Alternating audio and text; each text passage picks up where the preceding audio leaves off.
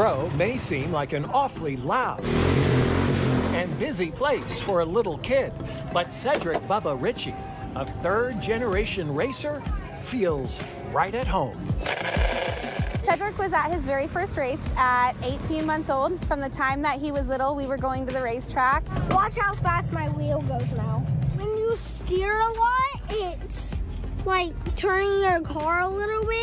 At six years old, Cedric is already a standout on the quarter midget racing circuit. He's always trying to be first. He's always trying to be the best. It's not just the way he races that gets Cedric noticed.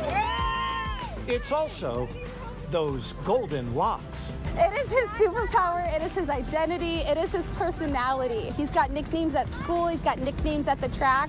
It's the mullet bullet, mullet man. Cedric wants that checkered flag, but there's always someone standing in the way. Piper's been the front runner all year. All year she's been on the podium. She's been winning the races. What do you think happens when the two of you are on the track at the same time?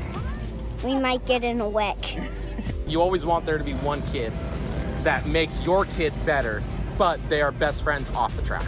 I might know we're in the same class, but good luck. Thank you. Don't turn it on until you hit the white line. He'll go into tunnel vision is what we call it. Do you ever have music in your mind while you're racing? It was Ghostbuster. You think about Ghostbusters while you're racing? Yeah, The song? yeah. The cars are all built the same. Top speed, 25 miles per hour. Roll bars for safety.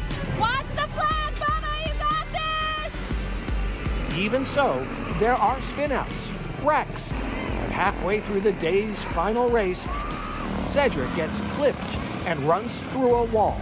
Then, while trying to make up ground, he gets in another accident. Once again, Piper wins the race. Hey, you rebounded after a really bad race to finish second, dude. Cedric! The defeat, the rivalry, they vanish in a moment.